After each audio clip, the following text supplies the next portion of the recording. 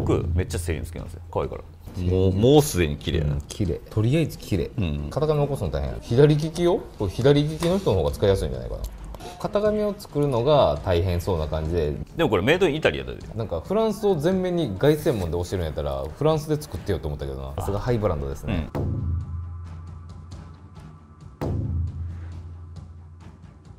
メイドインジャパン世界へえーどうもこんにちは新志向です、えー僕たちは普段革の財布バッグを作る職人をやっております、今回あのスタッフ私物でございます、はい。セリーヌってことで。僕めっちゃセリーヌ好きなんですよ。あそうなんなんはい。で、可愛いから。可愛いってどういうこと？デザインが？でそのわけで今回あのうちのあのスタッフ。キくんねマネージャーキくん、キくんがキさんにプレゼントしてる。まあそうなるわな。やつで、クリスマスにプレゼントしたやつやって、カーフスキンでさっき開けるかこれ、8万9100円でなんか、結婚してからもあの高額のプレゼントをするでいい関係を築けてるんだなって思います、ね、あやっぱ綺麗な、これね、うん。ちょっとなんか手袋した方がいいかな。えいいよ別に。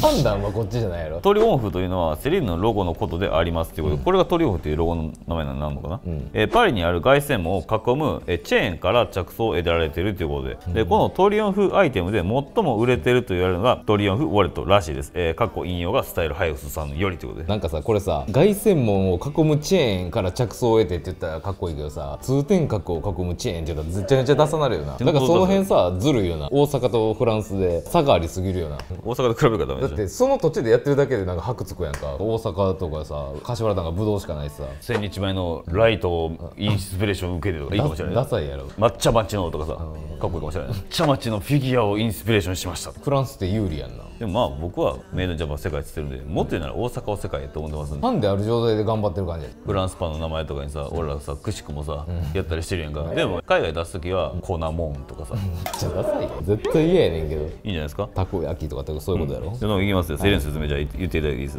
セリーヌの説明セリーヌはフランスのラグジュアリーブランドレザーアクセサリーを中心に小物アパレルと幅広く展開。1945年女性実業家セリーヌ・ビピアナが夫リチャードと共に開いた企画の子供靴専門店がその発祥。セリーヌの子供靴はパリの革職人の技術を生かしたもので上流階級を中心に支持を集めた。ハンドバッグを始めた60年代後半に馬車の柄とバックルのバッグサルキーや馬具金具をモチーフにしたモカシンが大ヒット。67年からプレタポルテコレクションを開始。ベーシックなデザインと上品な雰囲気でトータルファッションを提唱しオートクチュールとは違ったカジュアルな雰囲気が受け上流階級の普段着として定着した。87年ベルナール・アルノを率いる LVMH グループに買収され傘下に入る。その後経営組織などの改革に入りセリーヌは徐々に力を取り戻していきラグジュアリーブランドとして地位を確立。1998年秋冬より当時ニューヨークで活躍していたマイケル・コースをチーフデザイナーに招き新たな展開を迎え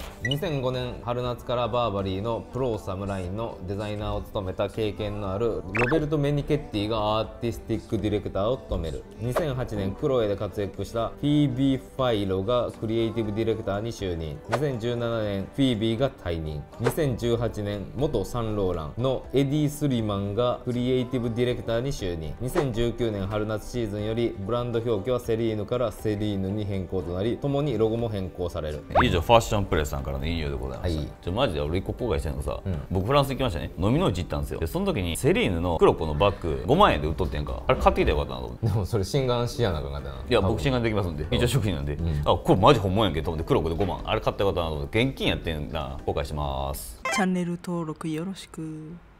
というわけで今回ポイント3つでございます、はい。現役バッグ職人あるいは財布職人の我々が、えーこちらの財布ね、えー全体的な印象をパッと見見ていきます。で2つ目にですね強度機能性素材作り込み構成この5つのポイントを持って徹底的に、えー細かくレビューしていきます。まあレビューしていくつか良さを説明していきます、で3つ目セリーのニュースセリーの新店舗で限定バッグ販売ということでこの動画を終わらせていただきますので最後までどうかご覧ください、はい。5秒告知。というわけで最初級長財布、えー、最初級、えー、蓋を取り財布クッペというこれ現在マーク上げで販売させて、あ来ません。え何も言えてないな間違ってるしな。長財布じゃないやろどう考えてもこれだ。それちゃうわ。では全体的な印象を見ていきます。じゃあ参ります。全体的な印象参ります。もうはっきり言って綺麗すぎるよ。綺麗やな。最近我々のやらないかんと思ってるのが箱な。そう箱もかなり高いでこれしっかりしてるの、めっちゃかっこいい箱。何百円もしてるでしょうね。めっちゃ細かく話し、箱の作りもすっごい綺麗で。これも一個一個手作りですからね、箱も。機械でガバンっていう感じでははないんですよね綺麗ですね。あーなるほどね。しかもなんかあのデザインというか内装の仕様も現代寄りにちゃんとなってますね。全然関係ない。けどこのホッチキスのブランドもんなんかなどうですね。多分あの芯のちっちゃさが勝手にそう思ってただけかもしれんけど。あちょっとちっちゃいだけです、まあ、そのブランドとかはないでしょ。この色もなんかか紙質もいいしプリントも綺麗でさ、細かいところ言い出したらこれでもすごいお金かかってますよ、こいつも。そうそう目のような生地やななるほど。いろいろ気づいたことあるんで後でまた言いましょうかね。でもメイドインアルバニアって書いてるぞ。アルバニアって書いてるけどこの袋だけかもしれな。い誰やこいつや。あこいつががアルバニアで。これはパリやろ、うん、あいつまだ喋ってるよ、あの海外番長が物価安いとこです。作らない。な物価高いとこ作ったらな意味ないからな。以上高いの海外のお話でした、あじゃあそのわけで今から細かく見ていきます、はい。ではそれぞれ詳しく見ていきます。じゃあそのわけで参りますけど。強度まあ財布なんでね。でもちゃんとこう分厚くなってて負荷がかかりそうなところはちゃんとこう綺麗に落としてでん。縫われてますね。この両方ともこっちも。もうもうすでに綺麗やな、綺麗。とりあえず綺麗。まあどっか壊れそうっていうとこはないっすよね別に、皮もいい皮使ってる。印象ですね。おそらくデュポイなんかな。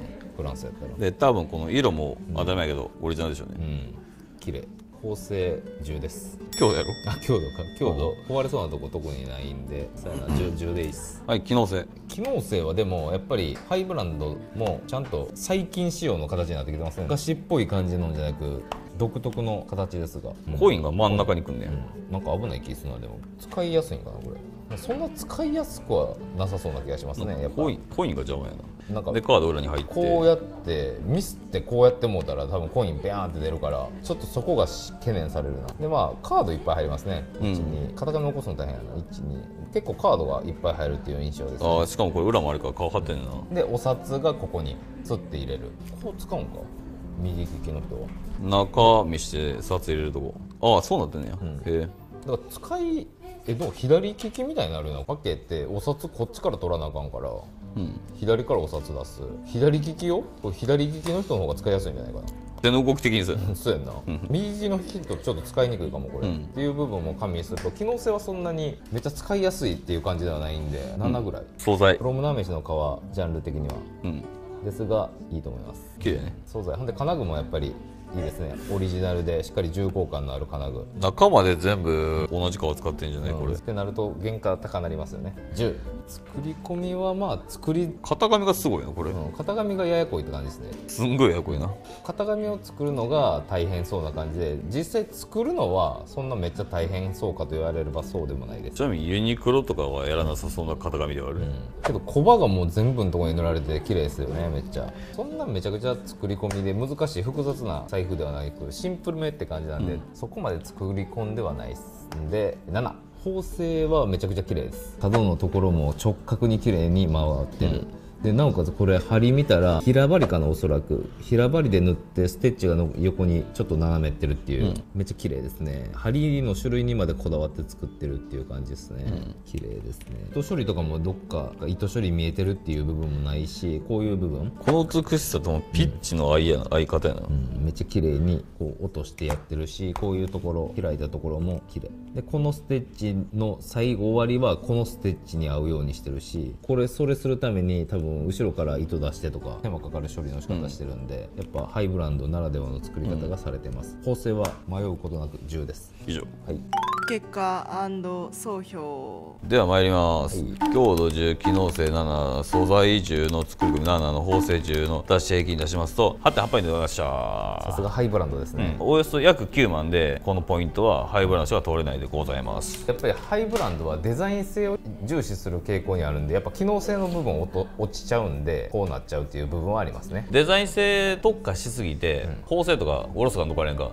でもハイブランドやっぱ端から端までやってるよな。端から端まで端から端まで徹底的にやってますよね、もうかっこいいね。かっこいいし色もいいし全てにおいて完璧でございます。セリーヌニュースじゃあ続きましてさ3つ目トピックということで。セリーヌニュースの TK で動画回しております。どこで言うねん？一番最初は言うとしたら。セリーヌが2023年11月に開業した麻布台ヒルズ内に新店舗セリーヌ麻布台をオープンする。新店舗はブランドのクリエイティブディレクターを務めるエディ・スリマンが店舗デザインを担当。VIP サロンを想起させる売り場面積約360平方メートルの店内でウェアやシューズバッグなど2024年春夏コレクションを含むウィメンズのフルラインナップを取り揃える。その他ブランドのアイコンバッグセーズかっこ16の新色ペールブルーやシルク素材のパジャマを限定販売するファッションスナップより。麻布台ヒルズってなんかめっちゃなんか最近ちょっと前にできたとこやな。なんか家賃高いんやろうな。家賃そら高いやろ、TikTok 見たで、2億円の家どっちがいいみたいな。そんなところで2億円やったら安いんじゃない？1個目の写真は新宿でめっちゃ細い3階建ての家、でもう1個は愛知県でめっちゃでかい豪邸やってんから。それぐらい差があるね。東京ってコスパ悪い気するなそういう建物の大阪の方がだいぶ安いやん。東京ってほんまコスパあるよな。生活する上ではそんな困ることない。もっと地方行ったらまだ差は出そうやけど。アマゾンあるし。粉もんもあるしさ。ねそれ。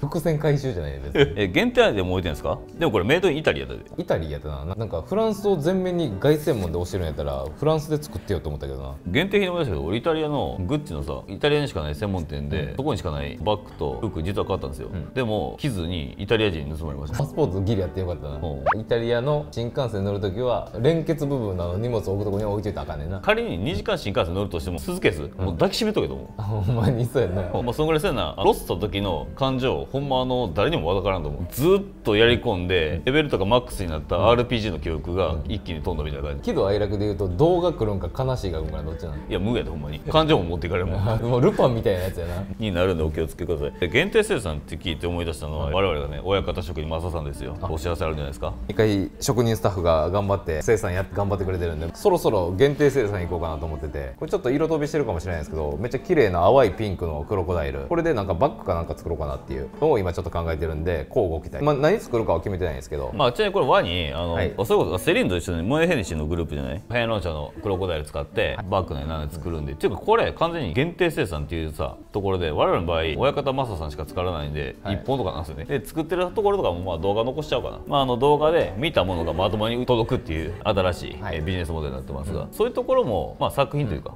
うん。思っていただければいいかなという感じで、まあ、ぜひやらせていただこうと思っております、あホームページに過去作載ってるんでよかったらまだ見てください。まあそんな感じで、まあ、新宿も LINE 登録してあの LINE でお問い合わせいただいても結構ですし、まあ、お電話していただけたらあこちらね大吉出ますんでよかったら皆さんこぞってご連絡ください、はい。じゃあそのわけでございました。また次の動画でお会いしましょう。お会いしましょう。さよなら。新進工房今日の様子何してますか？まあ、えー、ズボラサポートラージの裏地のはい。見返し部分の穴を開けてます。はいありがとうございます。頑張ってください